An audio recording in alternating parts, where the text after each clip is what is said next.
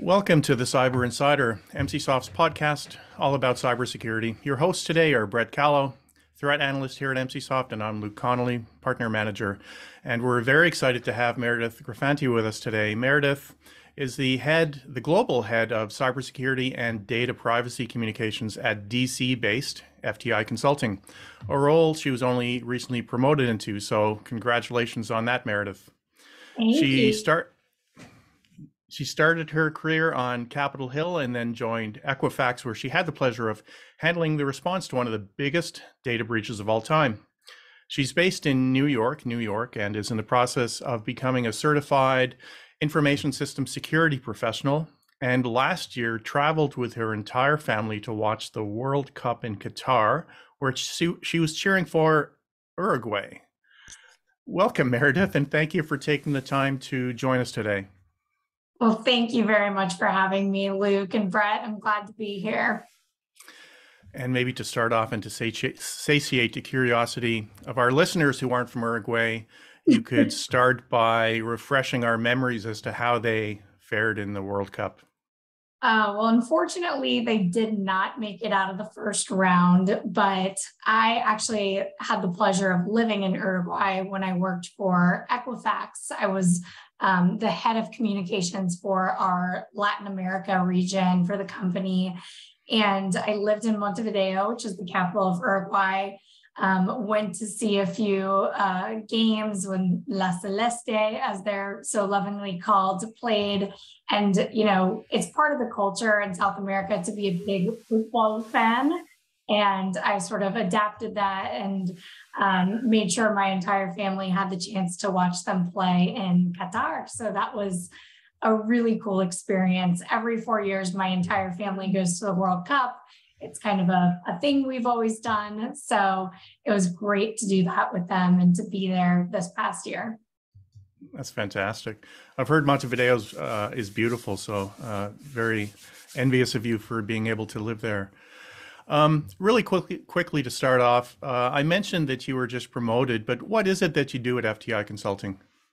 Sure. So I lead the global cybersecurity and data privacy communications team at FTI. We are a, for lack of a better way to put it, a PR team that is specialized in crisis communications around incident response. So we sort of parachute in when a company goes through a ransomware attack, you know, insider threat, business email compromise, you name it. And we help the company figure out what to say to their most important stakeholders, be it customers, their employees, media, regulators, business partners. Um, so we really come in to, to help them figure out how to be as transparent as they can be around what happened while not getting ahead of the forensic investigation or saying or doing anything that they'll have to walk back later. Just out of curiosity, how long had you been with Equifax before the breach? Six. I was at Equifax for a total of six years. I think it had been a little over four years before the breach happened. So I was sort of the veteran on the PR team. I was still in my Latin America position when the breach happened and, and got called home to headquarters to help triage the response to the incident. Um, and, and, you know, that was a crisis that lasted for about a, a year, really. Um, when you kind of think about them first disclosing the incident, um, their CEO resigning, insider trading allegations, 50 state 50 state class action lawsuit, and then ultimately the indictment of PRC nationals. That that entire process lasted about a year so that I was quite busy with the, the incident itself. And then I really fell in love with cyber working for the company's post breach CISO, who's been a long time mentor of mine and really taught me everything I know about cyber. My role with him was to you know help the company to communicate around what they were doing differently how they were rebuilding the cybersecurity program and maturing it um, and rebuilding trust with with customers all around the world. So I'll never forget the days of sitting in his office and him drawing out on a whiteboard for me like how a firewall worked and why it was important for the board to understand the investments that the company was making and upskilling talent, bringing new people on board. Um, he's a really fantastic leader. Is, is a guy by the name of Jamil Farshchi, uh, and someone I'm still quite close with to this day. Just wondering, and I'm not sure if you're able to answer this, but uh, did they have an, a response plan in advance? They did. Equifax was always a company that took cybersecurity seriously. I would say they, you know, had incident response plans. They tabletopped uh, regularly, like many companies do. But I think, you know, what we saw in that incident was number one, sort of a um, you know, an expectation that it would eventually blow over, that folks just didn't care that much about a data breach at a company that, you know, wasn't a household name for the most part. And, you know, when we tabletopped and we thought about cyber situations, I don't think they were quite envisioning a scenario where literally half the, the United States was impacted and affected by this attack, nor did we envision, you know, some of the the things you just can't plan for in a worst case scenario happening, meaning, you know, this was during, I think it was Hurricane Irma. It hit one of our call centers that was surge, surge capacity for us during the incident. Um, our customer service team mistakenly tweeted out a phishing link. Uh, we tried to be a provider of our own credit monitoring services, which I think the company bit off a little more than they could chew on, on that front. Um, and then, of course, you know, the insider trading allegations, the CEO resigning, FTC, SEC, DOJ investigations, testifying nine times in front of Congress. I mean, these are things you just don't plan for in your typical, you know, tabletop exercises. So now when I'm helping companies to prepare, I always think to have them think about like, what would your worst enemy do to you if they were trying to take you out? And how do you prepare for that kind of scenario? And also like practice it more than once a year. Refine your plans. Get better. Poke holes in things. Muscle memory. Like these are these are things that you got to wake up and think about every single day. Yeah. Sorry go on brett. Knowing what you do now is there anything you would have done differently in that incident? You know, I think when we look back and and uh, as you know, obviously I don't work for Equifax anymore, but they had a lot of lessons learned, more so from a crisis management standpoint. Um, I think actually before I left, I helped to write sort of a lessons learned post breach type of white paper that we shared quite broadly. And there were things like, you know, have a decision maker who's the shot caller, right, throughout the incident. I think there are a lot of people, a lot of cooks in the kitchen, people, you know, in various roles that had to sign off on things. We didn't have approval processes down pat. Um, so when we were thinking about like responding to hundreds of media inquiries, there was no ultimate decision maker on on things. And eventually we got there, but those types of roles, responsibilities, escalation protocols, and processes, those are things you want to have down in your playbooks now, right? Before an incident happens. You don't want to be building that plane while, while flying it. So now when I'm helping companies to prepare and they're like, can you write us a bunch of templates for that we can just pull off the shelf and use in the event of an incident response scenario? I'm like, it's really not a great use of your time for me to write a bunch of fictitious media holding statements for you. Like, let's get really granular on how you're set up from a work stream process. Who's the decision maker on the legal work stream? Who's running, you know, who's running the forensic and investigation work stream? Who's on point for comms, customer comms, regulator comms, employee comms? And how are those different work streams sharing information back and forth so that they're all moving together, you know, and progressing at the same time. So those are the types of things we focus on now and a lot of the lessons learned that I apply to my day-to-day work when it comes to preparedness. It's interesting. It sounds like a perfect storm of things that were hitting uh, Equifax. And, you know, we, we, we spoke with uh, Ciaran Martin, who was the founding CEO of the National Cybersecurity Center at GCHQ last month. And he's pretty big on don't catastrophize. But at the same time, when you're planning, you really have to imagine the worst possible scenario, you know, a, a combination, a confluence of disasters.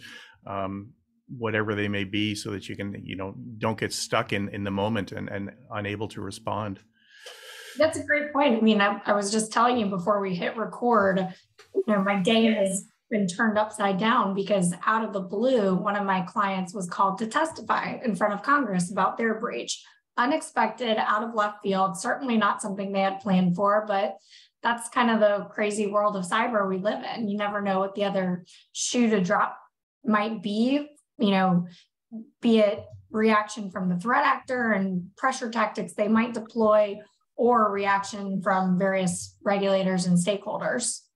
Right, right. Uh, that actually, and, and this speaks to something, this question talks to something you mentioned earlier, which is crisis communication be, can be tricky because the press and stakeholders want to know what's happening as soon as possible but what organizations say and what they don't say can come back to haunt them down the road if they get something wrong um, or, or, whatever. So how how can they navigate that? How can they navigate that with their communications plan? I think it's a combination of having the communications team plugged in and having a seat at the table in the broader context of an incident response team. Because so often, as I talked about before, you've got these siloed work streams where the forensic team is learning more as the minutes go by. The legal team is kind of overseeing and directing the investigation and is very involved in what you can say, what you can't say. And then sometimes that, that information just gets passed down to the comms team, like in an ancillary way. And they're not really equipped to go out there and talk to the press or develop proactive communications for customers. And if they had more visibility into what was going on in terms of forensics and the legal strategy, they could really be more effective in terms of what they're recommending. Um, you know, a lot of times we see uh, clients that are hit by a ransomware attack. And Brett and I have talked about this a lot. Go out there and say, oh, it's a cybersecurity incident or a network disruption. A couple of days go by, and then it's a, you know, an attack. A few more days go by, and ultimately they own up to being a ransomware attack. Um, and then you get into the whole like, do you say data was compromised? Do you say you don't know yet? How do you kind of you know navigate this evolving very fluid situation. And you know our recommendation is always to be as transparent as you possibly can be without putting yourself in that position where you say no evidence data has been compromised. And then you know you don't really have any evidence because logs were wiped and you don't you know you really don't know what you're dealing with. So not getting ahead of the forensics in, in terms of that type of scenario is really critical. So i think the more you can ingrain the crisis comms team in the overall process and an incident response team, the better off everyone is. There's always this question of protecting privilege and how involved can you have a PR team be? Um, but I mean, at the end of the day, like you got to do what's best for your stakeholders, your customers, your employees, and and how can you communicate with them if the comms team only has half the picture in terms of what's going on. What type of incidents are you typically involved with? Is it mostly ransomware or? I think these days it's a lot of, you know, double extortion, triple extortion type ransomware. Um, we're seeing an uptick in, you know, espionage, IP theft type of incidents, um, which we didn't work on as many of those last year always the, occasional APT sprinkled in or, or, nation state type of activity, which I I frankly enjoy a lot. You know, there's not as much of a need on those.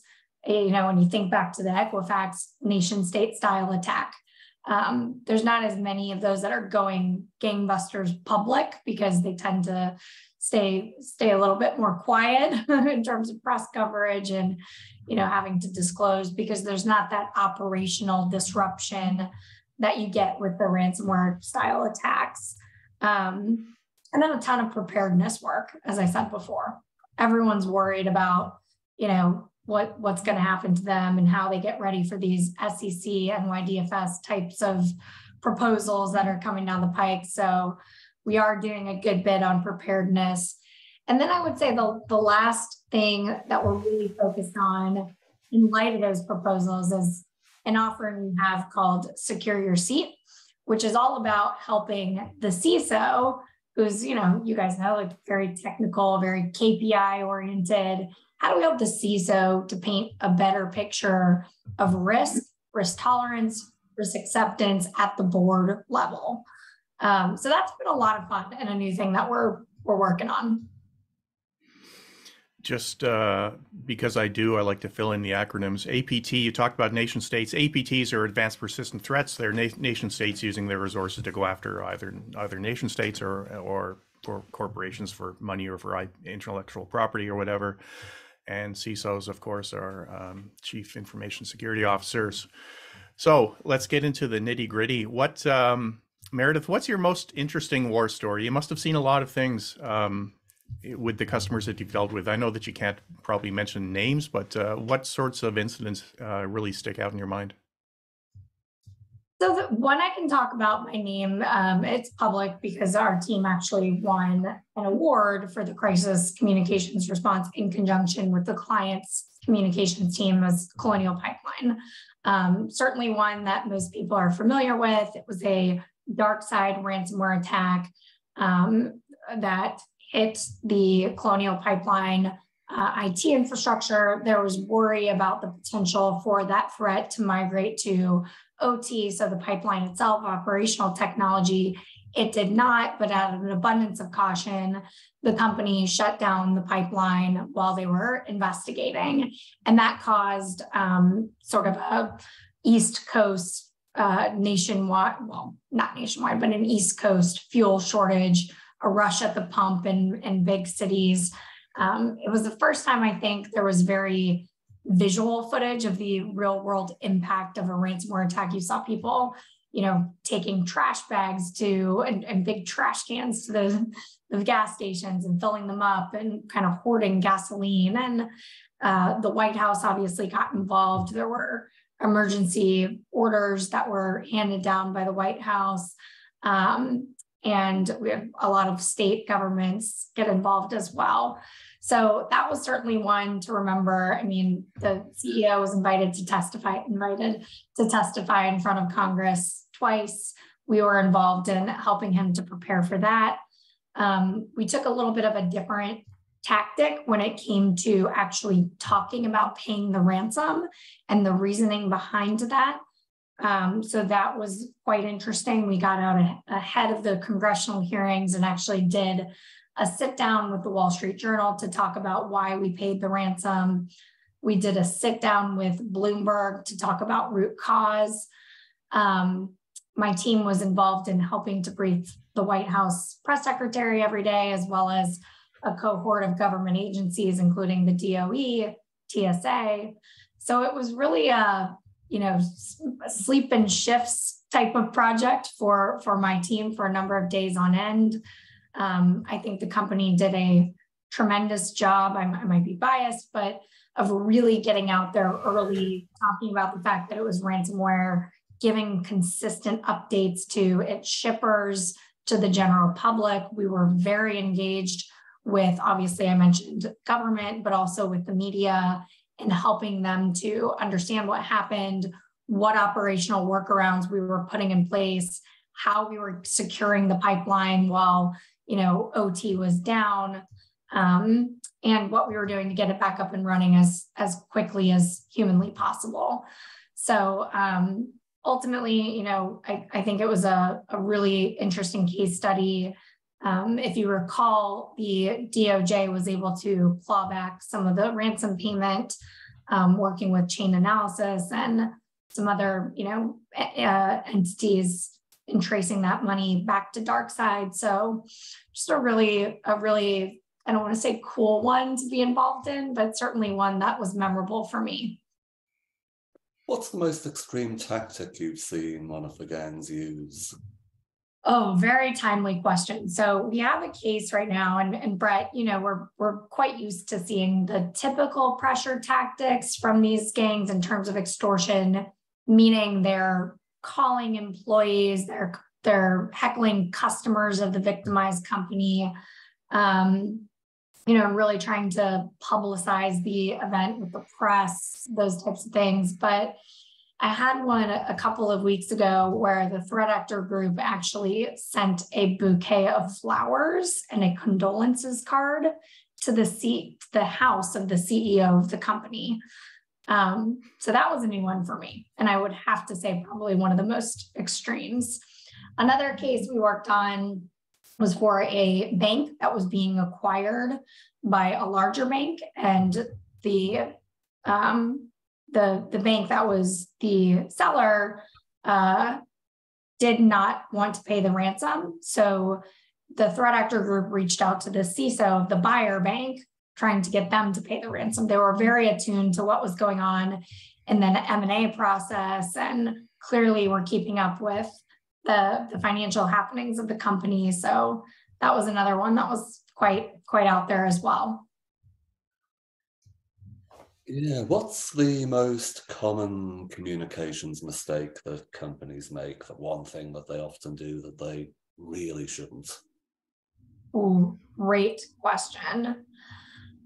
I, I have to say, you know, I understand the reluctance to come out of the gates guns blazing in terms of saying that an incident was ransomware, but I feel like, you know, so often, as I've said before, we see companies prolong the news cycle by saying it was a an outage and then moving to security incident, then moving to cyber attack, then ultimately ripping the band-aid off and saying it was ransomware. It's like it happens to everyone these days. It happens to Fortune 50 companies, it happens to small hospitals.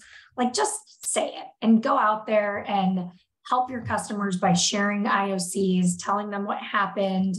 Um, everyone's worried about by saying ransomware, you immediately have to start answering data impact questions, and the time clock starts ticking when it comes to regulatory notices. But you're going to have to go there anyway. So just be honest about what happened.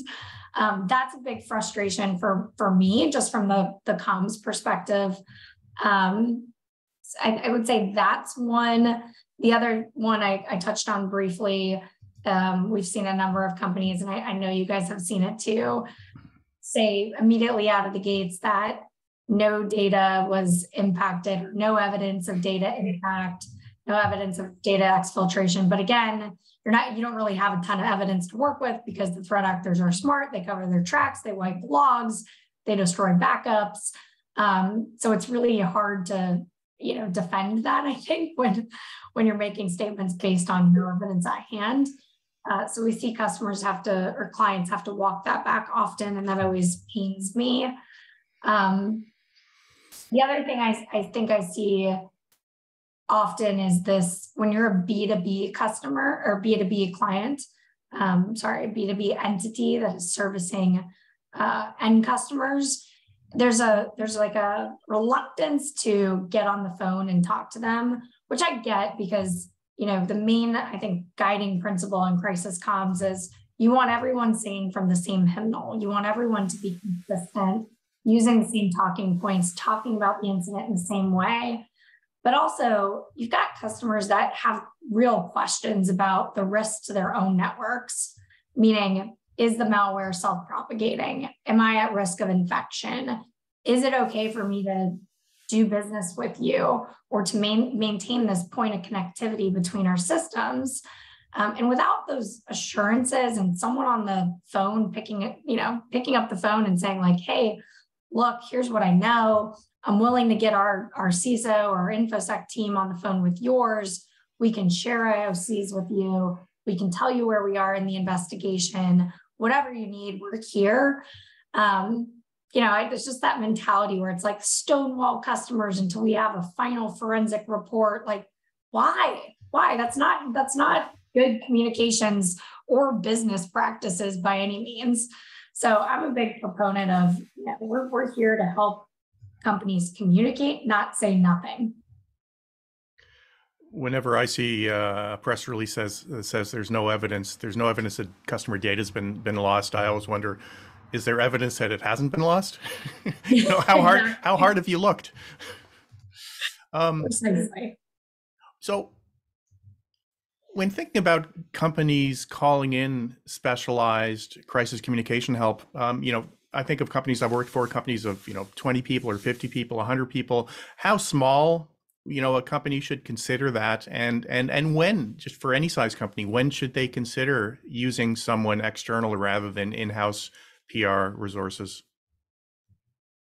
Before an incident happens, ideally. no, but I mean, truly, uh, uh, the companies I think that fare the best in incident response scenarios are the ones that we've been working with on preparedness plans that we've we've gone through roles responsibilities tabletops workshops and they've built that muscle memory on not only how to um, put pen to paper on uh, responses that they're going to need during a crisis scenario but they've done that and involved their external advisors meaning we know who the incident response team is from a forensic standpoint. We know their legal counsel. We've all gotten in a room together. We've shaken hands. We're not meeting on the day that, you know, encryption happens. Those companies really do tend to do that. Um, for those that are bringing us in kind of in all the live wire situation, I mean, the sooner the better, because the first thing that we're going to do is help to craft a narrative around what we know to be fact right at that point in time.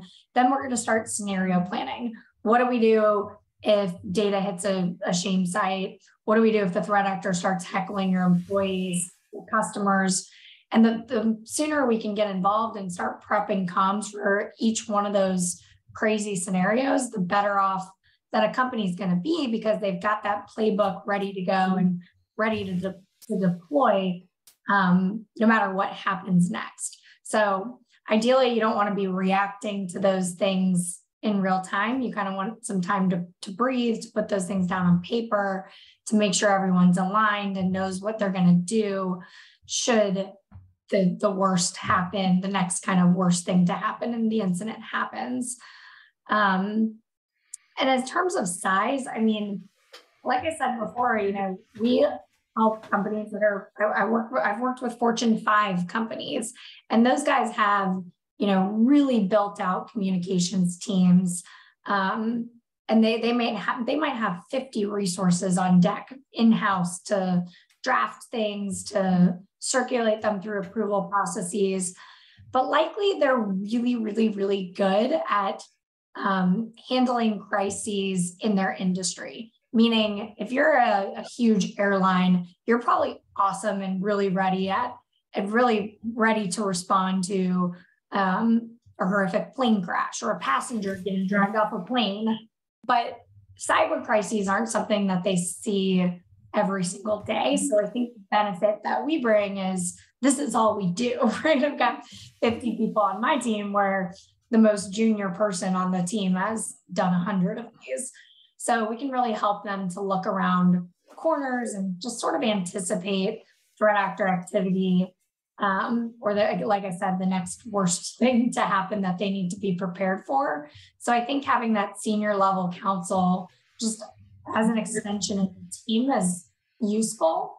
Um, and then for smaller organizations that just don't have the resources or the bandwidth to be building out crisis communications playbooks in the middle of you know also trying to answer phones or whatever else it may be that they're they're multitasking and, and doing um, where we can do that as well which is nice. So i'd say again the sooner the better.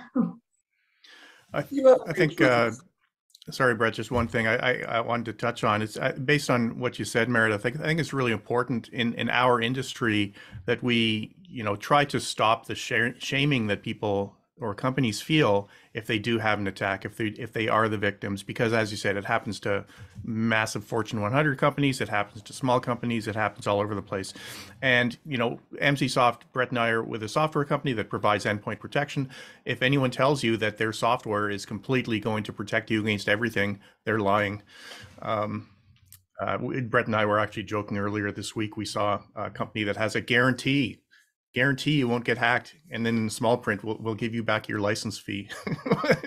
Well thanks very much. That's very helpful. Um I no silver who that is. Cyber, right. Yeah. Sorry for interrupting brett. No problem. Do you ever meet resistance from in-house pr or are they normally quite happy to be able to hand off these situations? You know, just having been an in house PR person at one point in my career, that um, I, I don't want to say felt threatened when outside consultants came in, but was like, you know, this is my space. I can handle this. This is my company. Nobody knows this company better than me. I think there's a, there's just a different perspective that outside consultants who do nothing but this day in, day out can bring to the table. And I quickly realized that when I needed help, I was going, you know, at Equifax, I was going through this massive cyber incident for the first time in my career. I had certainly never been through, you know, the domino effect crises that came with that, meaning CEO, you know, transition, insider trading allegations for four executives, um, government investigation. So having you know folks on the team that were an extension of the team to help and had seen those things um, were it, it was almost like a, a safety blanket and, and a comfort you know a comfort thing for me. And i i realized they were there to support me to help me to make me look good.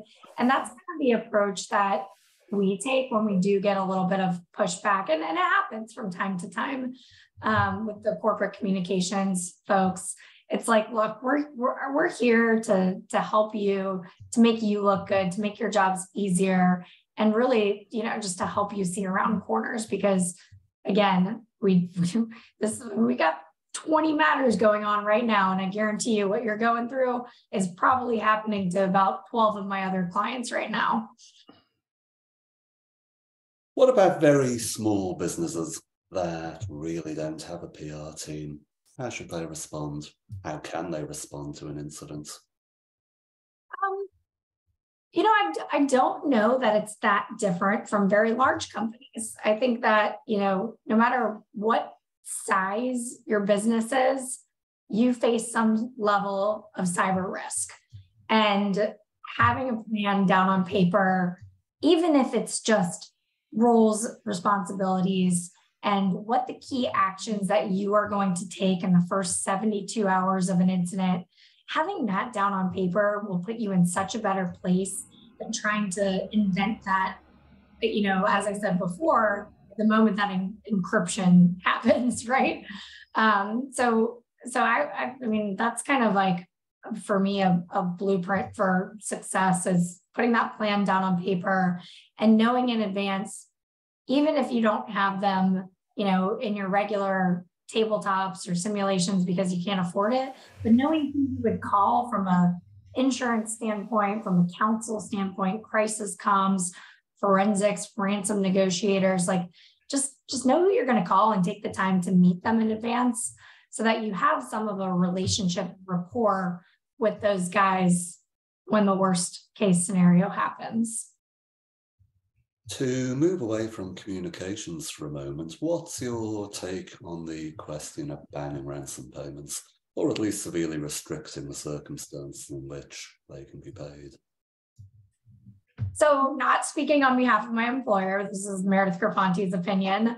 Um, I I just don't see how banning ransom payments is feasible. I mean, we work with companies all the time who, and I'll, I'll give you an example, who have policies in place that they under no circumstances will negotiate with terrorists, pay, pay, you know, ransoms, that type of thing. And then, you know, depending on the organization, the operational downtime is so significant that they're taking a huge financial hit, much greater than the, the ransom payment or the data that was stolen from them is so sensitive and so reputationally harming that they reconsider really quickly. And I've seen boards flip, you know, flip on a dime basically when they when these types of incidents face them.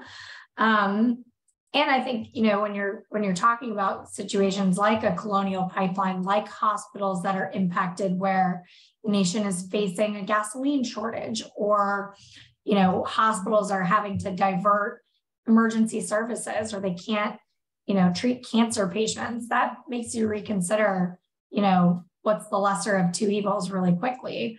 Um, we worked for for a hospital recently that had a ransom attack, ransom payment, uh, ransomware attack, and was adamant about not paying the ransom, and then uh, discovered that video footage from the hospital had been stolen, and it was some pretty pretty awful video footage, and the their board reconsidered paying the ransom very quickly um, and settled that case ultimately. So I just I just don't think it's I don't think it's plausible. What about restricting though? Should anyone be able to pay a ransom in any circumstances? I mean, I certainly believe in, you know, obviously the the checks and balances that exist with OFAC, with sanctions. Um, I'm a huge proponent of collaborating with law enforcement, CISA. We actually have on on staff on my team the first um, head of public affairs and communications from CISA under Chris Krebs. She's been a tremendous add uh, to the team. But I think you know the more intel we can share with law enforcement, um, with government, that public-private sector partnership you know myth that everyone talks about. I mean look we are seeing these groups get disrupted. I think the government is doing everything they can to you know go after these guys to the to the extent possible. And and that's a good thing right? That's a good thing for all of us. Awesome. And with that I would like to thank you, Meredith, for joining us. Your uh, experience and insights have been very interesting, very interesting to me. I'd also like to thank our listeners for tuning in. Stay up to date on the latest in cybersecurity by making sure that you subscribe to our podcast.